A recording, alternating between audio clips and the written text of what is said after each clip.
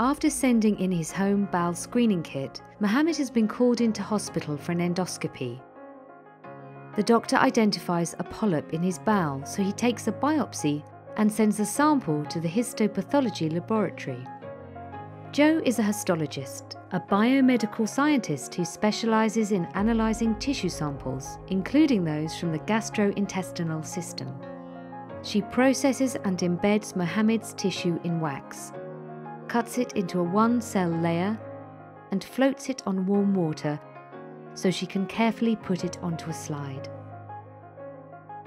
The sample is then stained to make the tissue visible. Joe reads up on Mohammed and then looks at the sample down a microscope, searching for patterns. She identifies the polyp and finds malignant cells growing invasively, but thanks to the screening kit, the cancer has been caught early. Joe reports her findings back to Mohammed's care team, giving them enough information to plan a treatment that has a good chance of success.